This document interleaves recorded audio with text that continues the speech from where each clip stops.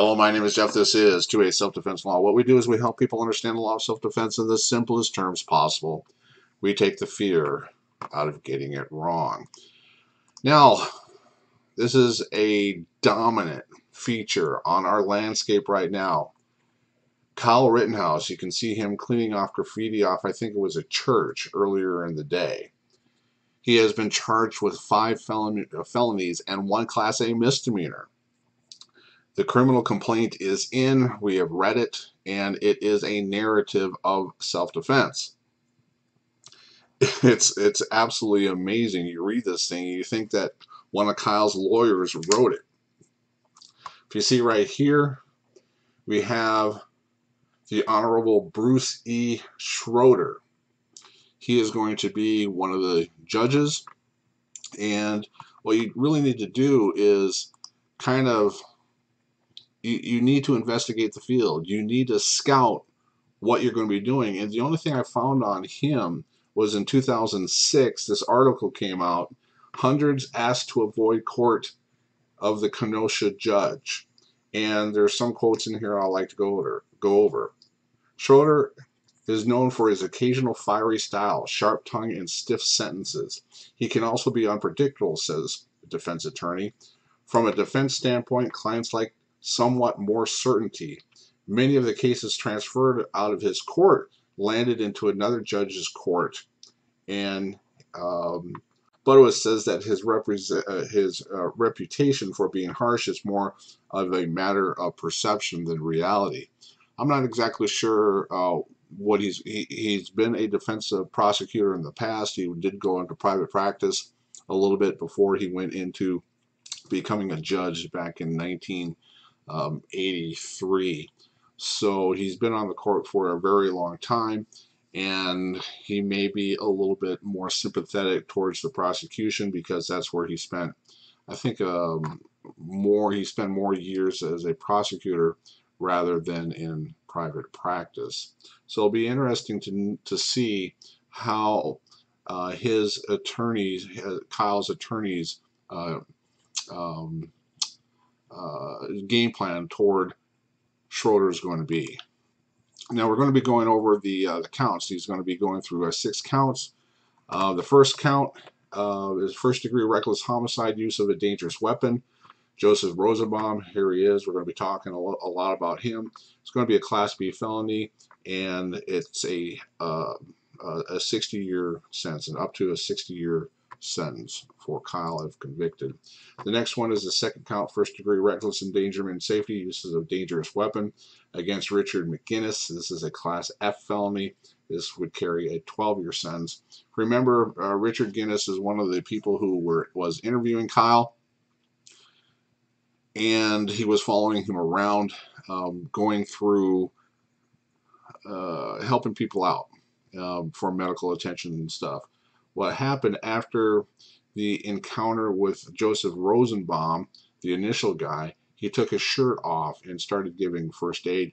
He would he the police talked to him. The criminal complaint has uh, him interviewed, and again, it is a narrative for Kyle for self-defense.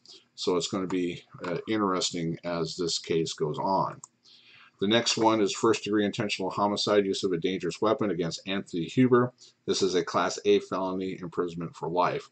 You can see um, Anthony right here using his skateboard to try to knock Kyle's brain out of his head. Okay, he ended up being shot in the heart. The criminal complaint also has a preliminary autopsy report. I will have that linked in the description. I recommend everybody go read it because again it is a narrative for Kyle's self-defense claim and it has um, the two deaths of Joseph Rosenbaum and Anthony Huber's initial autopsy report. Next one, attempted first degree intentional homicide, use of a, danger, a dangerous weapon against uh, Gage Grosskreutz. This is a Class B felony uh, prison sentence up to 60 years. This is the person who had the gun in his hand. It's the third person that approached Kyle and he shot him and it looked like it took most of his uh, bicep off. Now, let's keep on going to the count five, first degree reckless endangerment, safety use of a dangerous weapon. This is against the unknown male. This is a class F felony, um, sentence up to 12 and a half years. This is the guy who did a flying kick and tried to knock Kyle's brain out of his head. All right. Yeah, Kyle did shoot at him, and you can see in other videos of him running away. Next one.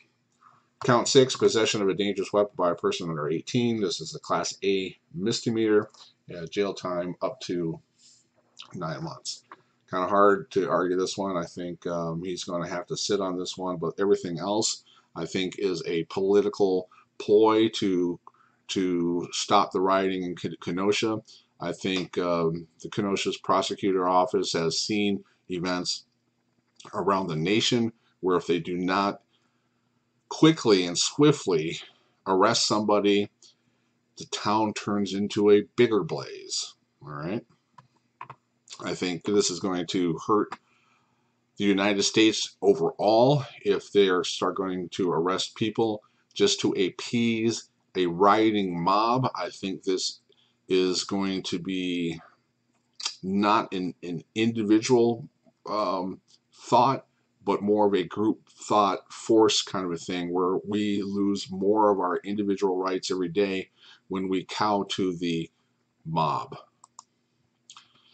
I want to talk about more about the innocence standard. Now, other videos you're going to see the imminence and proportionality part of innocence, imminence, uh, innocence, imminence, proportionality, avoidance, and reasonableness.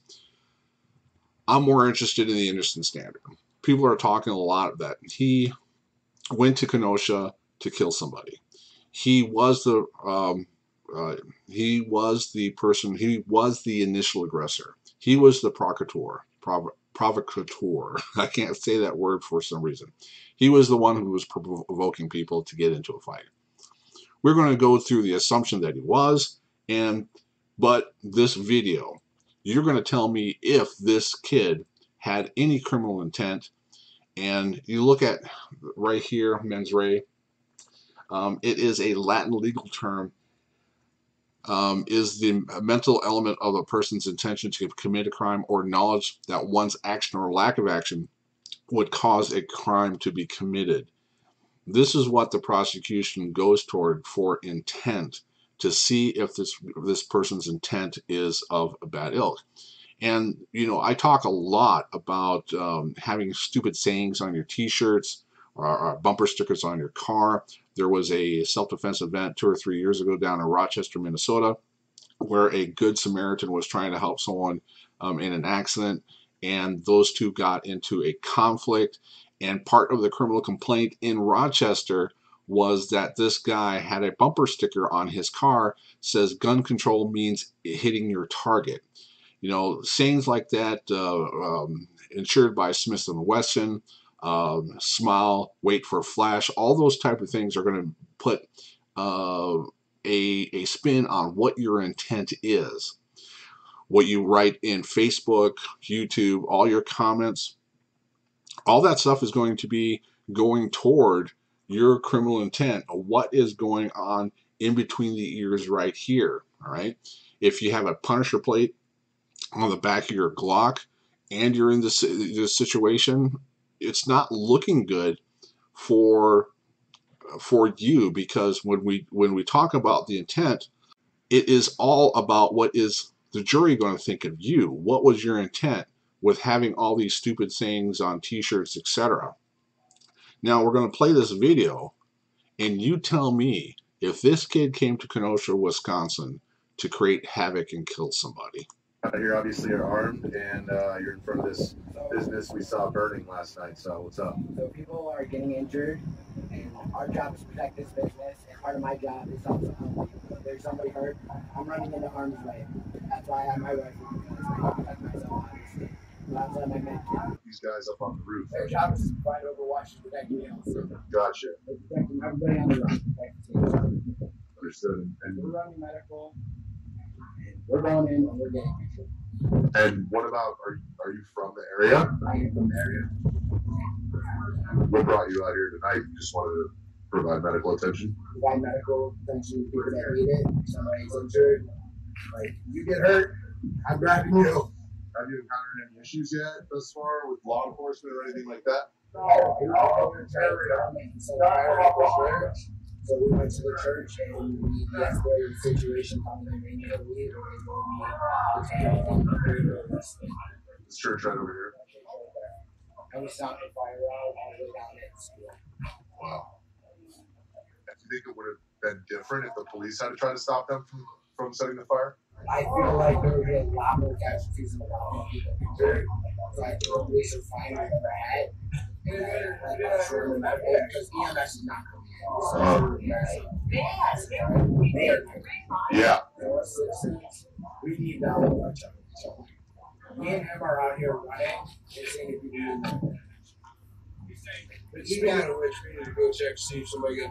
that. Now, this part of the the video is we're going after the video of his innocent standard again. This is after he's had the encounter while he was on his his backside. Would a criminal go toward the police line and try to to to turn himself in? Would that happen? Absolutely not. Now, I want to put this in there is because this was the original video that I had of Joseph Rosenbaum telling the group, Kyle's group, to shoot him N-word. Okay? It's he is the provo- he, he is the one who is the initial aggressor. He's the one who is provoking people to shoot him. All right? We're going to be going over that style a, a little bit later. But this is a video of of Joseph Rosenbaum initial conflict with Kyle Rittenhouse's group. If you notice in the previous video, Kyle said that they uh, stomped out a fire earlier. Well, this is going to be kind of the same thing, and Joseph Rosenbaum's fire. I don't know if he started the fire, the video doesn't show that, but what happens, well, you'll see it. We'll just go from here. Here's Kyle. He's running with the fire extinguisher. All right he was putting fires out. All right. There's Joseph Rosenbaum right there. He was pushing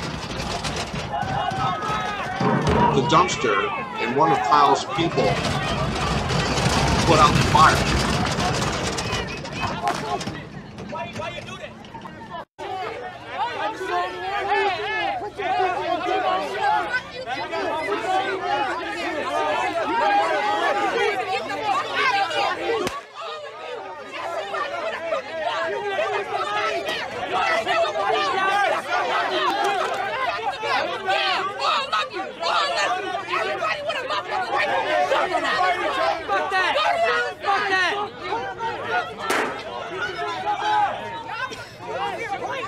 Oh!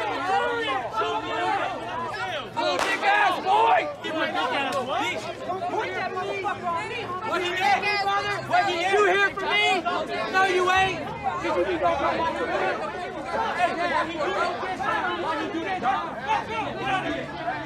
Get me out of here. What you mean? It don't matter.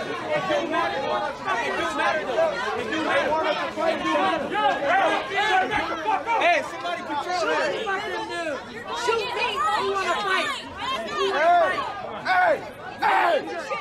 They want us to break down!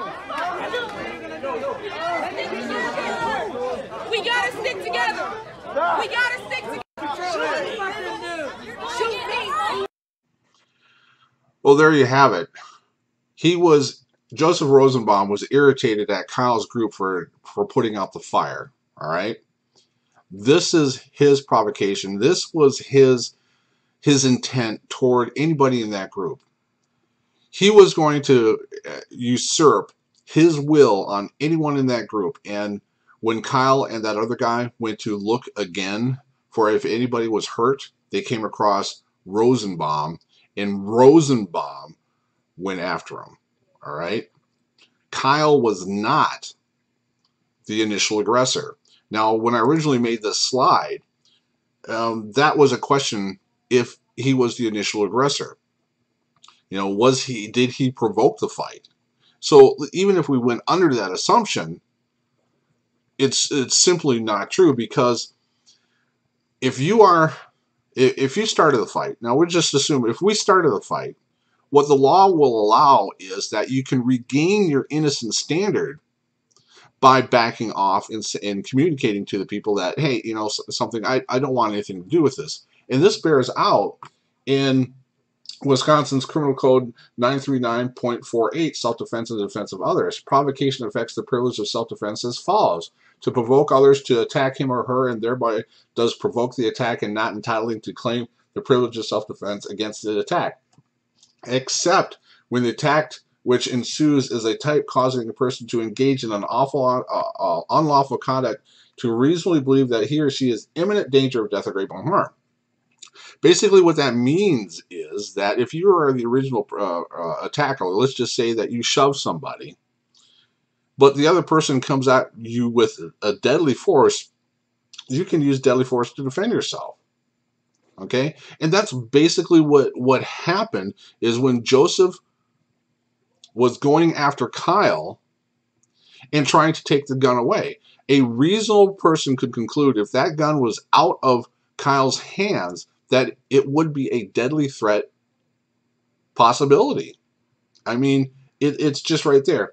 In such a case, a person engaged in the unlawful conduct is privileged to the act of self-defense. There you go, what I was talking about. And here we go. Unless the person reasonably believes he or she has exhausted every other reasonable means to escape. And that's exactly what Kyle did. He was running away from Joseph Rosenbaum. He was trying to get away from him. Joseph Rosenbaum threw something at him, and the, the criminal complaint says it was a, a plastic bag. No. Rosenbaum wasn't carrying a plastic bag with nothing in it. There was something in it of, substan- of, of, of substance, okay? And at that same time, Kyle would have heard some gunshots behind him. All right. And that is going to be an important element. So let's go over uh, section B. The privilege lost by provocation may be regained if the actor, in good faith, withdraws from the fight and gives adequate notice thereof uh, to his or her assailant. We were already talking about that. All right. Backing off. All right. So even if Kyle was the initial aggressor, you can reset it by getting away and trying to retreat until you couldn't retreat anymore, where um, the reasonable means to escape was no longer possible. So the people are out there saying that he was the initial aggressor, which it basically proves the the previous two videos prove that he didn't have the mentality of going there to shooting somebody. And, Ro- and Rosenbaum was so irate at this group for putting out his fire and having his little barbecue fun that he went after Kyle. All right? That was the mens rea. So, again, let's go over Kyle Rosenbaum. All right? Was he an initial aggressor? Yeah. Was he a pro, uh, uh, was did he provoke the fight? Oh, absolutely. By saying shoot me n-word, you are provoking the fight and there is a statute to cover that, 93948. A person who provokes an attack intend to use such an attack to excuse or cause death or great bodily harm is not entitled to claim a privilege of self-defense. And notice in the statute that it does not give him an out where he can back off and say, uh, you know, I don't want anything to do with this. Ah, it doesn't say that. He is not entitled to claim a, uh, claim the privilege of self-defense.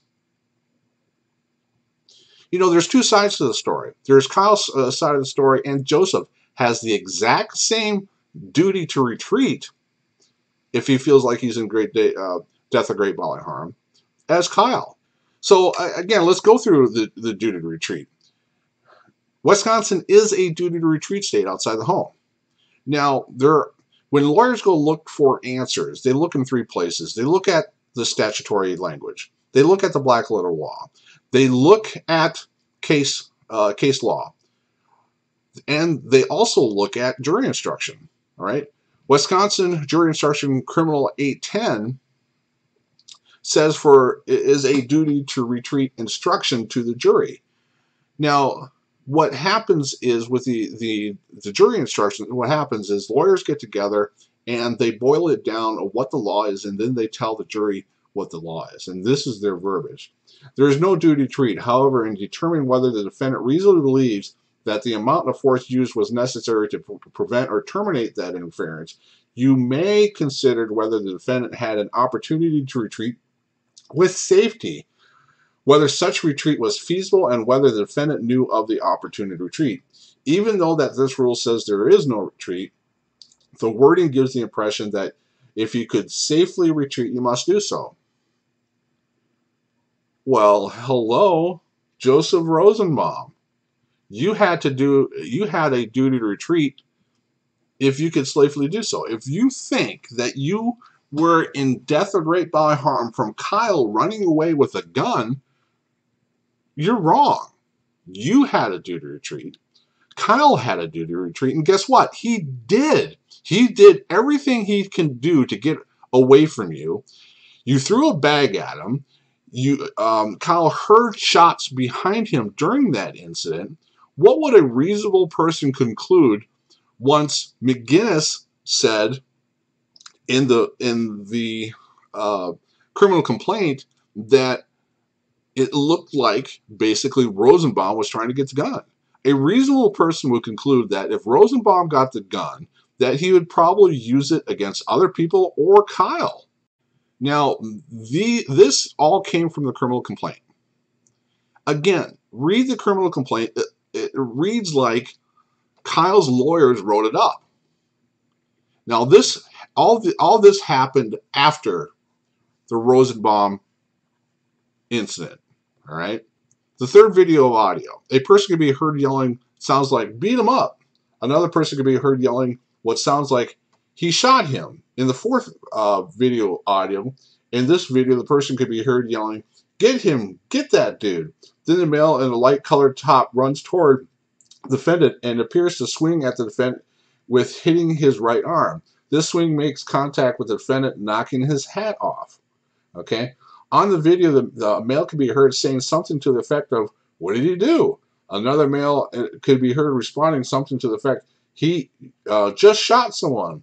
Then male can be heard yelling, Get his ass! The defendant then trips and falls on the ground. Doesn't that read like a bunch of people are trying to get after Kyle? All right, he's running toward the police, uh, the police line. Okay, he is trying to get away from a mob that is getting angry because he defended himself against an agitated Rosenbaum, who again has a criminal history. Okay, we may talk about that a little bit later, and we may not. But he starts running. He uh, is attacked by a guy who's swinging something and hits his arm. A few seconds later, he trips and falls. Then you have the un, unknown uh, person, unknown man, who did a flying leg kick to Kyle's head to try to make his brain escape his skull. Then the next person tried to use a skateboard to remove Kyle's brain from his skull. Then the next person came after him with a gun in his right hand. All of this is happening while people are saying, beat him up. Hey, he shot hey, he shot him. Get him, get that dude. What did he do? Just shot someone. Get his ass. Would a reasonable person conclude that you were in fear for your life or great bodily harm? The criminal complaint, again, is a narrative of self defense.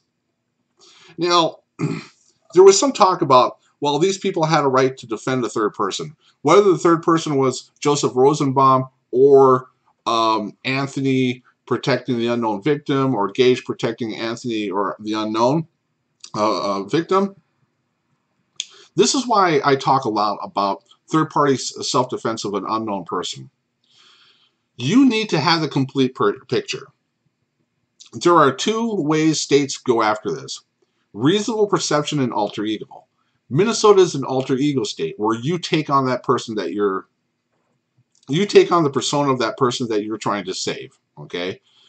If that person had to do the retreat, you had to do the retreat. If that person could not use uh, lethal force, you couldn't use lethal force. Okay, if that person wasn't the innocent person, you could not have a self-defense claim. You couldn't. Uh, the perfect example when alter ego state is that you were walking down the street, you walked around a corner, you heard a woman screaming, "Rape! Rape!" and you see two guys on them, and you started defending uh, defending that girl, and it turned out that those were two cops trying to take out a, uh, a drug dealer.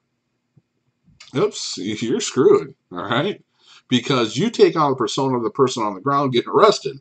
That person was lawfully detained, and you had and she had no right of self-defense. Therefore, you have no right of self-defense to save her. Other states like Wisconsin is a reasonable perception uh, state, and we'll go over this right now. Um, Wisconsin statutes um, 939.48, subsection 4, a person is privileged to defend a third person from real or apparent or unlawful interference by another under the same condition by, by the same means as those under by which the person is privileged to defend himself or herself from real or apparent unlawful interference. Here we go. Provided that the person reasonably believes that the facts are such that the third person would be privileged to act in self-defense. Again, that's a reasonable perception. So if you are actually saying that Gage and Anthony and the unknown victim could go to the age of Rosenbaum or Anthony going after uh, uh, the third party for the unknown victim or Gage um, helping out Anthony, these people, if you truly believe that their intent was to protect a third party, I think is kind of small because, especially um, for Joseph, there is a huge time sequence between Joseph on the ground and these people trying to uh, uh, protect a third person of Joseph, or there'd be a, a more reasonable way that if these guys are actually thinking that they're trying to protect. But again, how can you protect if somebody is on the ground getting beat by a skateboard? Gage. How can you go up to him? Gage, Gage um, um, held back a little bit. And then he went after it again. And that's when Kyle shot. Kyle specifically shot Rosenbaum because he was on him, grabbing the gun. He shot at the unknown victim because he was down on his back trying to prevent a flying lead kick to the to the head. Kyle, while on the back, was trying to protect himself from a guy using a skateboard to his head. Anthony Huber died of the result by a shot straight into the heart. All right. Gage went after Kyle while he was still on the ground and was going to shoot him according to his friend's Twitter account, say he was going to kill the guy. And he got shot in the bicep, and it, it was pretty gruesome. It looks like the bicep was um, uh, shot uh, completely off. Okay, so there is also jury instruction toward this. I'm not going to read this jury instruction. Again, jury instruction, uh, criminal 830, defense of the third party, basically goes over what I just said. But the, the, the interesting thing, deposit if you want to read it, it is a good read, especially down here. A belief may be reasonable even though mistaken. Okay, so if you truly believe that you were in third party and you were trying to save these people because Wisconsin law, reasonable perception, will eliminate you from criminal culpability if you truly believe that you were defending a third party, which I don't think this, this narrative bears out. In determining whether the defendant's beliefs were reasonable, the standard is what the person of ordinary intelligence and prudence would have believed in the defendant's position under this, the circumstances that existed at the time of the alleged offense. The reasonable of the defendant's belief must be determined from the standpoint of the defendant at the time of his act and not from the viewpoint of the jury now. Okay. But the the other one is CalCrim, excuse me, Wisconsin Criminal um, uh, Jury Instruction 835. Basically, basically, it goes over the same thing, but it has a caveat. that caveat is if the position, the person that you are defending is the initial aggressor, is the uh, provocation by that defendant, you have certain culpabilities, but it still gives you an out under reasonable perception. You should consider whether that person provoked the attack. A person who engages in unlawful conduct of the type likely to provoke others to attack and who does provoke an attack is not allowed to use or threaten to use in self-defense against an attack. A person, a person who uh, provoked the attack, whether by lawful or unlawful conduct, with the intent to use such an, an attack as an excuse to cause death or great bodily harm to another person is not entitled to use or threaten to use self-defense. However, even if said person had provoked the attack, the defendant would still be allowed to act in defense of that person if the defendant actually and reasonably believes that that person was entitled to act in his or her, her defense. Again, reasonable perception. I don't think it bears out here. I think these people, I think the unknown victim was an aggressor. I think Anthony Huber was an aggressor. I think Gaige Gross, uh, Grosskreutz was an aggressor. And this nonsense of protecting a third person is nonsense. Now, in the criminal county complaint on page five, Kyle talked. Kyle Rittenhouse talked to the police. It says statements by the defendant which are made contrary to his penal interest. It's going to be interesting if that video leaks or the audio leaks to see exactly what, is, what he said. And we will go from there. Okay, I think this is going to be drawn out for two or three years um, to get out of the election cycle. The bad thing about it is, is Kyle will be going to jail. He probably will stay in jail for until his trial date. And if so, when he does get convicted for the gun charge, um, it'll probably be time served and we will go from there. Now there are a lot of other videos out there. There's a lot of other misconceptions um, out there and wrong statements and this is always uh, predicated on the information that we have now. All right. My name is Jeff. This is 2A Self-Defense Law. I hope this helped.